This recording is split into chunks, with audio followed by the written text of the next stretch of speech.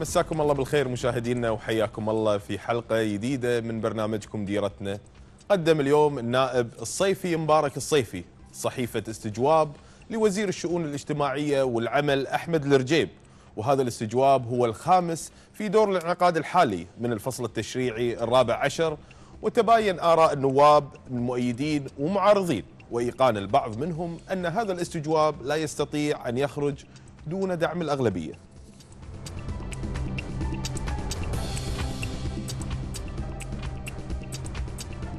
استجواب برلمان محاور قانون مواقف نيابية.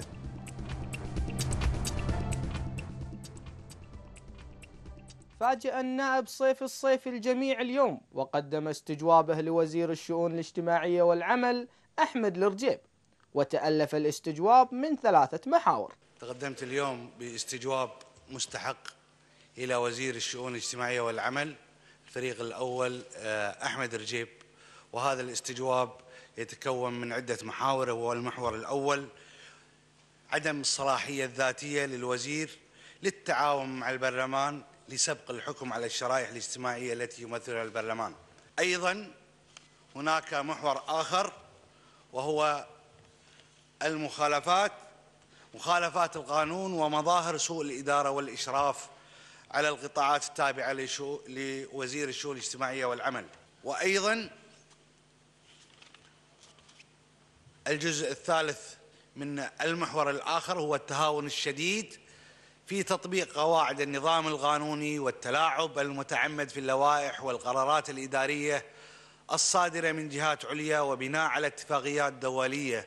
واجبة التنفيذ كاتفاقية مجلس التعاون الخليجي والقرارات الصادرة من المجلس الأعلى وهو السلطة التنفيذية الأعلى لهذا الكيان. فيما أعرب عدد من نواب الأغلبية. أن استجواب الصيفي لا يمثل كتلة الأغلبية ولم يتم الاتفاق عليه مما ينبئ أن هناك تفكك لهذه الكتلة. مثل ما قدم اليوم النائب الفاضل الصيفي استجوابه وأصر على الاستمرار فيه سينظر لهذا الاستجواب مثل أي استجواب آخر بحيادية إلا أن ليس لا يعتبر استجواب الأغلبية لأن الأغلبية وأنا أرجو أنكم تراجعون الدكتور الفاضل جمعان الحربش منسق كتلة الأغلبية حول هذا الموضوع لم نتفق اتفاق نهائي أو اتفاق حتى على موضوع أنه يقدم الاستجواب من الأغلبية.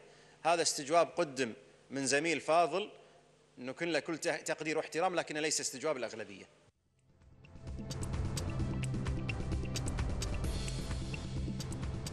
قدم النائب الصيفي مبارك الصيفي صحيفة استجواب اليوم لوزير الشؤون الاجتماعية والعمل أحمد الرجيب وأودعه لدى الأمانة العامة.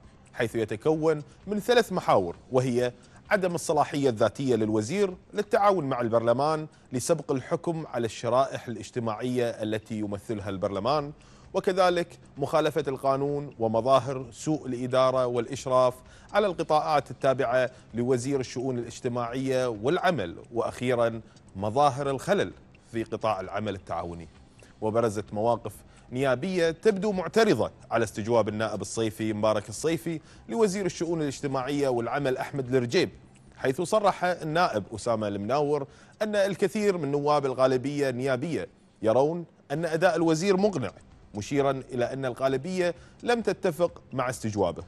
أما النائب رياض العدساني فرأى أننا لسنا في ماراثون سباق وقال أنه سيقدم استجوابه للوزير لرجيب قريبا. وفي الاتجاه نفسه جاء موقف النائب عبد اللطيف العميري الذي نفى أن تكون الغالبية النيابية متوافقة على استجواب الوزير.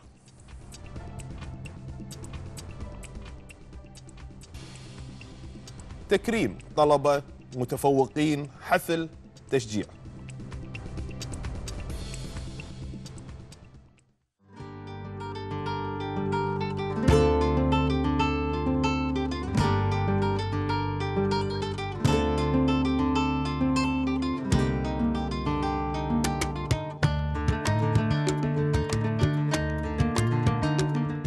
وها هي جامعة الكويت الرائدة.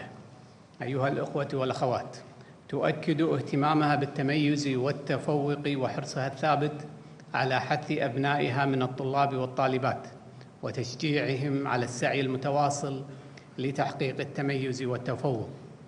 وأن يكون هذا السعي نهجا أصيلا مستقرا في وجدانهم يقود خطاهم في طريق المثابرة لتحقيق الإبداع الذي حققت به البشرية إنجازاتها المتتالية في كافة المجالات.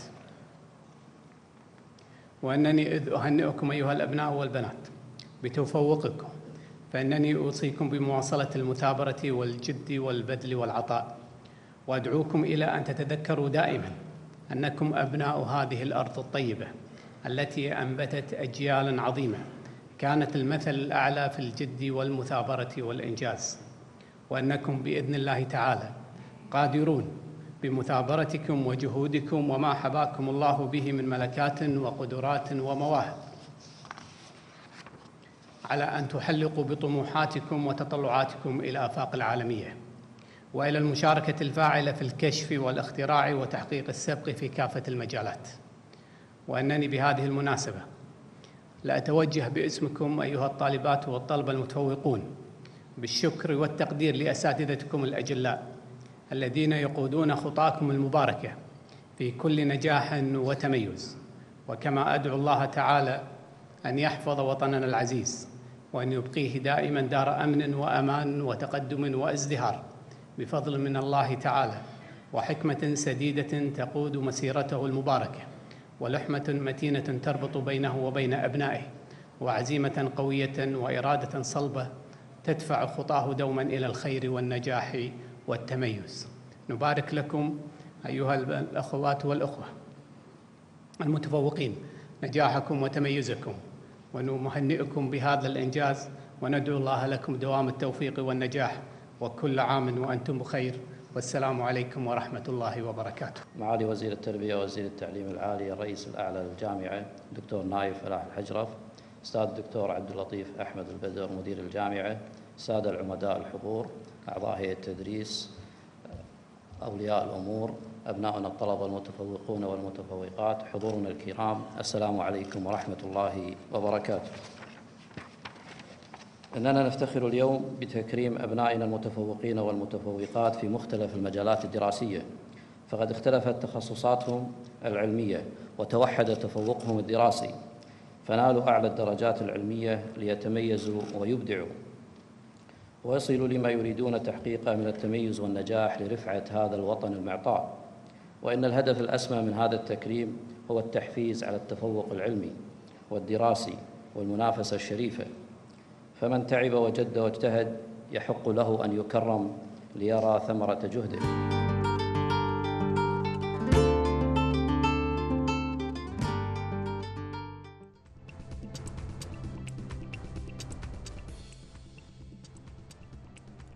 تكريم وتحفيز الطلبة المتفوقين والمتفوقات على مواصلة البحث العلمي والتفوق. في ضوء هذه المقولة نظمت عمادة شؤون الطلبة في جامعة الكويت حفل تكريم أوائل الطلبة المتفوقين للعام الجامعي 2010-2011 تحت رعاية وزير التربية ووزير التعليم العالي والرئيس الأعلى للجامعة الدكتور نايف الحجرف. وأكد الوزير الحجرف في كلمة ألقاها خلال الحفل حرص الجامعة على تكريم طلبتها المتفوقين من كل عام كي تشجعهم على مواصلة البحث العلمي والتفوق لتحقيق التنمية البشرية المستدامة في البلاد. ودعا الطلبة المتفوقين إلى مواصلة تفوقهم العلمي من أجل تحقيق طموحاتهم ورفع اسم الكويت في كافة الميادين مشيرا إلى أن جامعة الكويت من الجامعات الرائدة في المنطقة. وحضر الحفل لفيف من أساتذة الجامعة والطلاب وكذلك أولياء الأمور.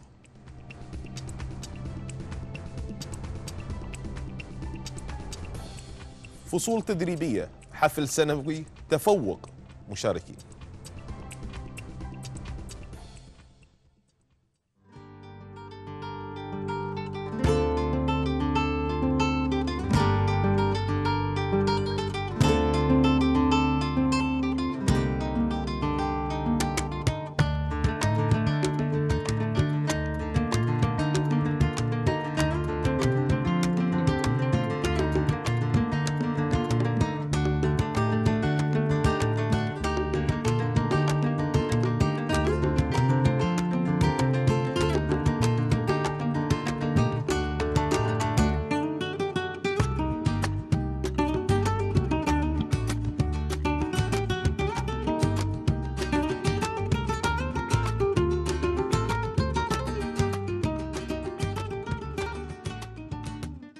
تقام اليوم حفلة بإدارة رعاية المعاقين آه، وذلك بمناسبة انتهاء الفصول الدراسية لأبنائنا المعاقين في جميع مراكز إدارة رعاية المعاقين من إعاقة ذهنية وإعاقة مزدوجة.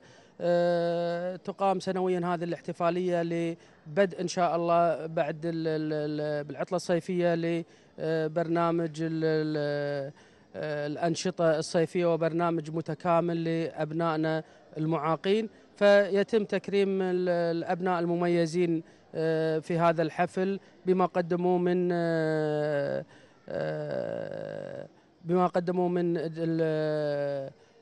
مهارات وتفوق في خلال الفصول الدراسية للسنة الحالية. طبعا هو في مستويات هناك مستويات في ال- الأبناء المستوى الأول والثاني والثالث.